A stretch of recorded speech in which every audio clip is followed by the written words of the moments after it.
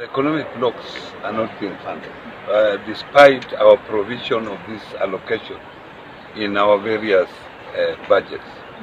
When I raised this issue yesterday, the Minister for Devolution has taken up the issue.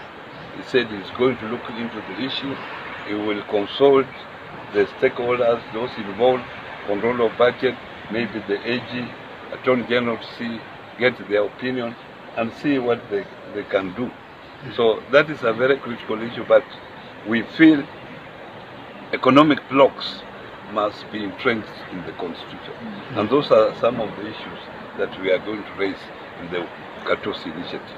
Because within the county budget, because these are our own programs at the county level, the only difference is that we are coming together, several counties, but we want them bu- uh, uh, budgeted for within our county budget. At a council meeting this morning, and as a council, we have agreed that uh, we will progress the Ugatuzi initiative on, on this referendum issue. You remember um, uh, during our first term, we started Pesa Mashinani, I- it could not proceed, but now we have uh, decided that as Council of Governors, we shall have the Ugatuzi initiative and soon we will be rolling out our, our program on this initiative. Mm. It's not taking or refusing. As counties, we must be funded. At least we must be funded. Whether what happens, we must be funded. So it's not taking or leaving it. We must be funded. And as I've repeated, now that is a decision of the Senate and the National Assembly. What they agree, we will take that.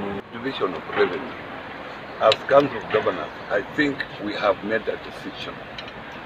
Uh, first of all, this process of division of revenue is a long process. And this is a process that started way out last year, late last year. But we had a meeting in February where we met under IBEC. IBEC is chaired by the Deputy President. And as a council, we made a proposal of 344 billion based on our own workings. And at that meeting, we were convinced by CRA that uh, after looking at what the economy can afford, we accept 335. And that is what we accepted from that particular meeting.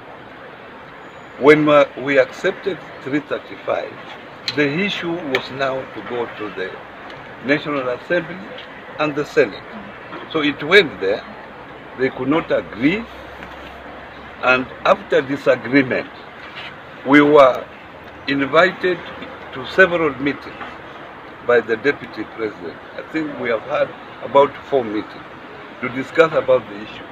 But since the issue had reached the, to the two houses, us, we were just there as stakeholders, because the decision remains with the Senate and the National Assembly.